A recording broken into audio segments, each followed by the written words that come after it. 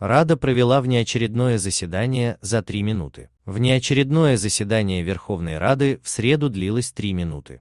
Народные депутаты приняли два законопроекта без обсуждения.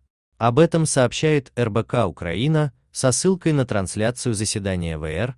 В зале зарегистрировались 316 народных депутатов.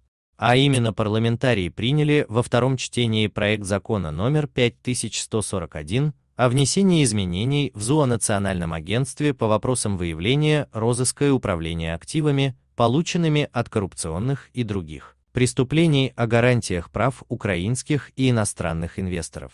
Подчеркнем, что на сайте Рады до сих пор отсутствует текст законопроекта ко второму чтению, так же как и сравнительная таблица. Есть только заключение профильного комитета. Нардепы приняли за основу и в целом законопроект номер 5440 об изменениях в переходные положения закона об основных принципах и требованиях к органическому производству, обращению и маркировке органической продукции.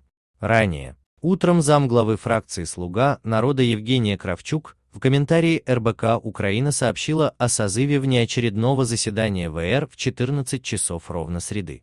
Позже появилось распоряжение спикера Рады Дмитрия Разумкова о его созыве. Как писала РБК Украина, в конце мая ВРУ приняла за основу законопроект номер 5141. Закон в редакции первого чтения запрещал Нацагентству по вопросам выявления, розыска и управления активами продавать имущество без решения суда. Ранее в антикоррупционном комитете отмечали, что действующее законодательство нарушает Конституцию и Конвенцию о защите прав человека и основных свобод, поскольку ни один орган государственной власти не может продавать чужое имущество без решения суда.